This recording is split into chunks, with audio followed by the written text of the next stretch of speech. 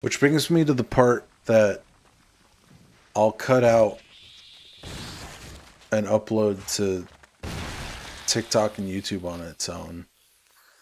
Uh, uh technically, like, comment, subscribe, uh, uh, share, uh, uh, hit the bell,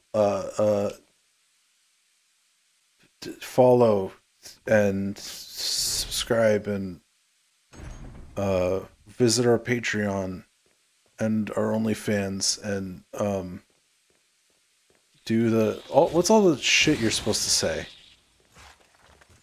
Follow me on Instagram and Twitter. Um, we have a we have a, a coffee set up.